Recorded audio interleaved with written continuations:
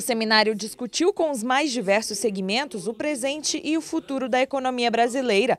O intuito é buscar, através do debate, a compreensão e a análise de cenários, além de alternativas para enfrentar os obstáculos que ainda atrasam o desenvolvimento do país. Na abertura do evento, o ministro da Fazenda, Guido Mantega, falou sobre as perspectivas da economia brasileira para os próximos anos. Temos boas perspectivas de retomar um crescimento mais vigoroso na economia brasileira. A razão disto é que a crise internacional que afetou todos os países durante os últimos cinco anos, ela está terminando, ela está arrefecendo, portanto, portanto abrindo as perspectivas para o início de um novo ciclo de expansão da economia mundial. O presidente nacional da Ordem dos Advogados do Brasil, Marcos Vinícius Furtado Coelho, participou do primeiro painel de discussões do evento. Ele defendeu a necessidade de uma agenda positiva para o Congresso. Este é um momento ímpar de um diálogo da sociedade civil com o Congresso Nacional. Portanto, uma mensagem muito positiva que o Congresso Nacional apresenta ao país. Esta oitiva que ele faz às lideranças da sociedade civil brasileira em todos os setores. Vejam que ah, o subtítulo do Seminário Brasil Novo, discussões para a construção de uma agenda positiva no Congresso Nacional. Então é disto que se cuida, uma agenda positiva para o parlamento brasileiro. E vimos nas exposições que eh, nos antecederam é, diversas pautas de agendas é, importantes para destravar, destravar o desenvolvimento nacional. Vários temas que trazem maior segurança à economia do país foram apresentados pelo presidente da Ordem. Entre eles, o novo Código de Processo Civil e também a necessidade de um novo Código Comercial, trazendo regras claras às empresas brasileiras. Segundo Marcos Vinícius, outro fato importante que deve ser combatido é a alta carga tributária do país. O Brasil é um dos países tem uma das maiores cargas tributárias do mundo.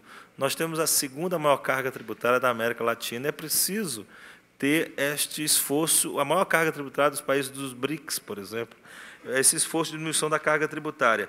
E dentro desta medida, a desoneração da folha de salário é algo importante. É, e por isso que a OAB apoia o projeto de lei 6.094, também de autoria do deputado Vicente Cândido e outros deputados, que corrige a tabela de isenção de imposto de renda de acordo com a inflação. Ingressamos, inclusive, com ação direta de inconstitucionalidade no Supremo Tribunal Federal, por compreender que é necessário, justamente, manter o valor eh, da moeda na correção da faixa de isentos e nas demais faixas tributárias. Educação e saúde também foram abordados pelo presidente da OAB. Ele lembrou que, através de ações afirmativas em prol da sociedade, é possível gerar uma grande melhoria no sistema econômico do Brasil, que teve um crescimento tímido de pouco mais de 2% em 2013. Questões sociais, o tratamento que se dá à capacidade, é, capacitação da população brasileira é fundamental para a economia como também o tratamento que se dá à saúde da população.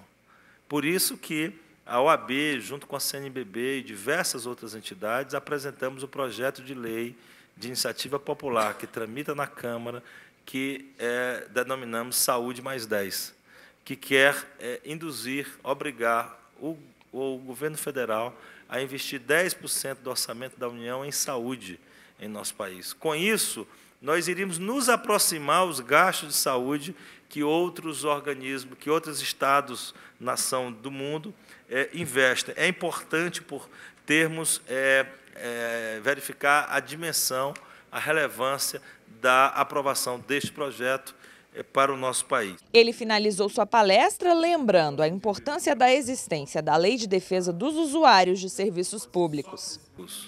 Há 15 anos, a emenda constitucional 19 fez previsão na Constituição Federal que se faz necessário uma lei de proteção, de defesa dos usuários de serviços públicos, para que quem precisa de serviço público tenha um tratamento respeitoso, uma proteção legal como alguém que é consumidor de serviços privados.